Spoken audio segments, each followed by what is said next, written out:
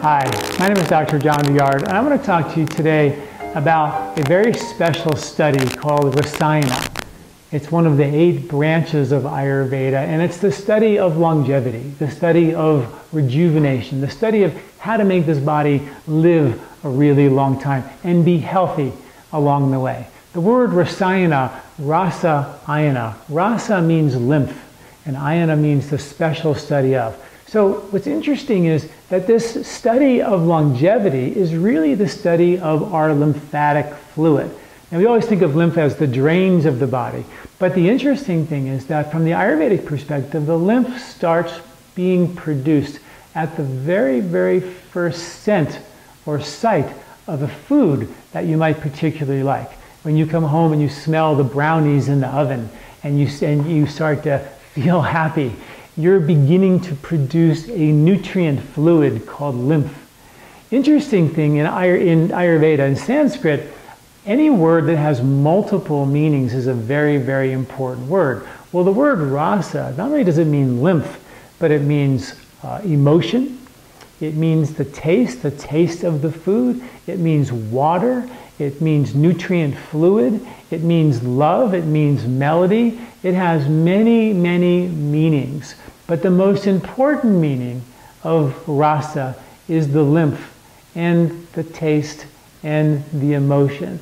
Point being is that when you taste a food, you're actually eliciting an emotional response. In fact, when we smell the food, our five senses or avenues of consciousness are facilitating a mental kind of digestive response to prepare and begin to start digesting that food, which causes the very beginning production of rasa, the nutrient fluid, the beginning of this journey of the rasa dhatu. Very interestingly is the rasa, from that first smell of the brownie, that first nutri nutritional fluid, actually goes through a journey of transforming itself again and again and again into different tissues of the body that takes literally 30 days to be produced. So when we smell that food, it's very important that the emotional charge that we put into that food happens right then and there. So the taste of the food provides an emotional charge to that food because the taste is means or is, is called rasa. The emotion is called rasa. The lymph is called rasa. The, the food that as it moves through your body is called ahara rasa. It's a very important fluid that it goes all the way through the digestive process. My point today is that that two points really. One, I want to take this journey, this 30 day journey with you. It might take a little longer than I have for this video, but I also want to make the point that, that the first emotional charge is when the quality of your, your awareness, your state of calm while you're eating the food. If you're eating the food in a panic and a rush and you're gobbling the food down, you're not going to create this emotional state of calm that allows the rasa to be produced in a complete fashion. And if the rasa is not being produced in a complete fashion, energetically charged with stress, it's going to go into your ahara rasa, the food as it goes through your digestive tract, and it's going to impact the microbes, which we now know are directly related or affected by your stress. When you're under stress, good bugs go south, bad bugs go north. We know if you take the poop out of a very anxious mouse and put it into a calm mouse, the calm mouse gets anxious. We know that 95% of the serotonin in the body that's produced and stored and manufactured in your intestinal tract, and only 5% is in our brain. So we know for sure that we really process our stress through the intestinal tract. And the emotional charge of the food while you eat it directly impacts the ability for the microbes to support healthy production, and therefore a good mood. Literally, sounds crazy, I know, but the emotional effect while you're eating the food, according to Ayurveda, critically relates to production of the rasa, which goes on this 30 day journey to make your whole body function, which is really interesting. Now, we know from a scientific point of view that when you're under stress, your good bugs go south. We know that for a fact. So Ayurveda was very close to describing what we now know today, thousands of years ago. I think it's very interesting. So point number one, when you eat your food, taste your food. In Ayurveda, there's six tastes, sweet, sour, salt, pungent, bitter, and astringent. All six of those have a different and unique emotional effect. So when you taste something sweet, it provides satisfaction. If you overdo the sweet, it provides sort of a complacency.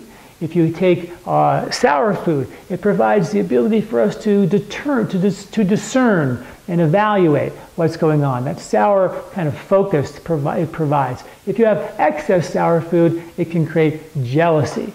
If you have salty food, it can create, salt is a, is a powerful stimulant. It creates desire and the zest for life. But if you have too much salt, it can create uh, over desire, a hedonistic lifestyle, too much material uh, possessions. It, pungent is a taste that provides stimulation as well, excitement, and extroversion. If you have too much of the pungent food, it can make you angry and irritable. Um, bitter foods are, uh, are very bitter and they provide uh, energy and stimulation and the, the, the, the, movement for change, that bitter sort of activation. But if you have too much bitter, it can make you hyper or it can make you manic. It even can make you bitter because it can be too much of that same taste. Astringent foods, the last food, is uh, uh, the one like taking beans or, or, a pickle or a cucumber is very astringent and uh, it causes introspection, also a certain level of mental clarity from the astringent foods. But if you have, again, too much of those foods, it can cause you to be overly sensitive and then withdraw and retreat. Ayurvedically, we always say that all six tastes should be there with every meal. It's not always possible, and it's not that critically important for every meal. But if you have a long-term accumulation of lack of one taste or too much of another, it can begin to skew the emotional charge of the food that you're tearing into the ahara rasa, into the intestinal tract that are supporting the bugs that make the neurotransmitters that make you happy or sad. It's really that simple. And support the heavy lifting for your immune system and pretty much the health of our entire body is directly related to the bugs who are critically uh, affected by our stress. It's pretty fascinating. The rasa, when it gets absorbed out of your intestinal tract, it becomes blood. It manufactures the production or supports the production of blood. And then it becomes muscle. Then it becomes fat. Then it becomes bone and nerve and reproductive tissue. Now that process way more detailed than I have uh, time for today. But it's a long journey. I write about it in the article, and I'm going to write more about this process because it's quite fascinating. But it takes 30 days for that to happen. And the final product is reproductive tissue. And the essence of that final product, the final product, after we produce all these seven tissues, reproductive tissue being the final, most creative, obviously, tissue, there's a tissue called ojas, which is called longevity fluid, you could call it. It's the final manifestation of the rasa, of the lymph. It's called vitality fluid, energizing fluid, longevity fluid. It pervades a glow and a radiance in your skin and your body. It makes you happy. It makes you satisfied.